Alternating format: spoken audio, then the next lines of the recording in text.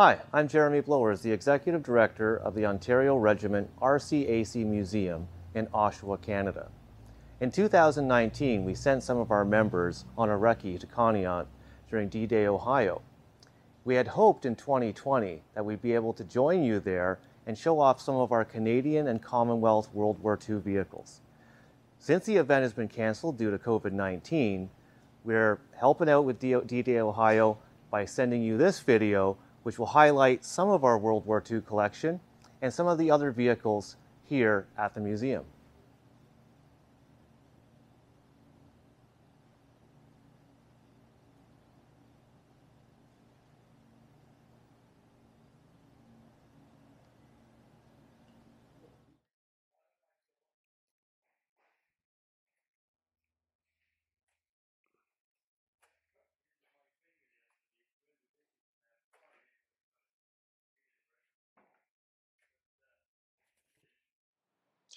Hi, it's Drew, and I'm here at the Ontario Regiment Museum in Oshawa, Canada, to give you a brief overview of the Axis vehicles we have at the museum. Some of you may know me from the Conneaut event on the Axis staff. Unfortunately, that event is not going on this year, so we thought we'd give you a brief look at what we have here at the Ontario Regiment Museum. As you can see, I'm sitting in the hull turret of the Panzer III, a replica that was made by Panzerfabrik in the United States. It's an amazing exact replica of the Panzer. It runs during our Aquino event every year and many of our Tank Saturday events as well. It's a beautiful replica inside and out and we'll give you a quick little shot of it inside as well so you can see the detail that they put inside. We're going to take a brief look inside and show you how cramped the compartment is. Just get inside the Panzer itself. There's not a lot of room as you can see and I'm not a big guy. But now that I'm safely in past the commander seat, it's a very tight crew compartment. Uh, it's obvious that the crew worked very well in tandem with each other because they really had no choice. Um, and we'll give you a quick look inside to see what's inside by the breech, uh, by the driver and, and the gunner loader, just inside the Panzer III, which is a view that not many people actually get to see. One of the great things about the vehicles here at the museum is they're all running vehicles. It's not just a static museum. So if you come to the one events, you'll see these running out in our tank field instead of just being a static display. Nice up and close and personal. I'm sitting in the hull of a Swiss Hetzer that was in a European museum and is now in our collection. It's been restored to World War II spec with a late war ambush camouflage pattern on it.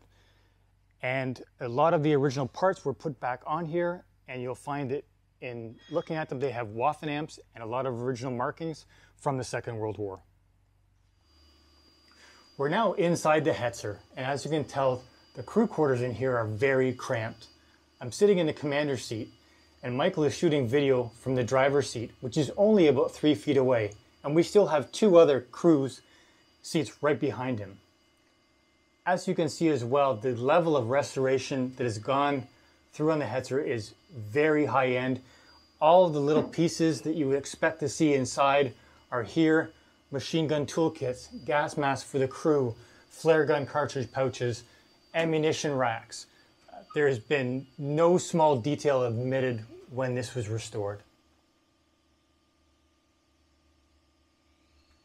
I'm sitting in the crew compartment of one of two Czech OT-810s the museum has in its collection. These were made post-war by the Czech government and are very similar to the 251 armored personnel carriers that the Germans deployed in the Second World War. These are run by a crew of 12, a driver, a radio man, a crew commander, who also ran the forward machine gun, four men, four grenadiers on each side, and a man running the rear-facing machine gun. These specific OT-810s were remodeled to match the German model 251C and the 251D10. The 251D10 has anti-tank capability with a forward-mounted PaK, and the 251C has a forward-mounted machine gun. When we're talking about mechanized warfare, infantry always takes advantage of pockets and successes that the tanks and forward elements have created.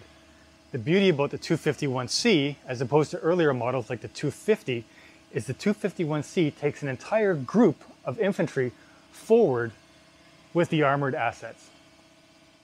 German armored personnel carriers were normally supplied with a front and rear machine gun. Normally they were either armed with an MG34 or in this case, the MG42. The MG42 is legendary in World War II for its extremely high rate of fire.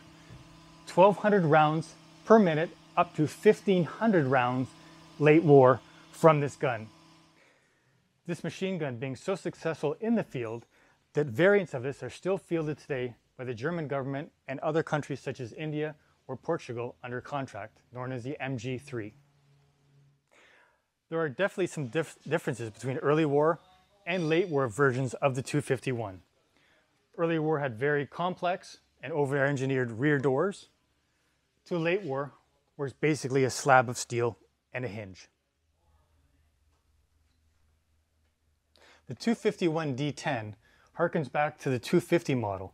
It had much less crew compartment, given the size of the PaK mounted on the front and the amount and size of ammunition required to feed the PaK carried in the back racks here. The 251 series of armored personnel carriers is very utilitarian. There are many versions of it, including the troop carrier, troop carrier with anti-tank capabilities. There are hospital and medical versions of it, command versions with radio sets in it, pioneer versions. There's also flamethrower versions, and a version late war called the Stuka Fuss, or the Walking Stuka, which actually fired rockets filled with napalm.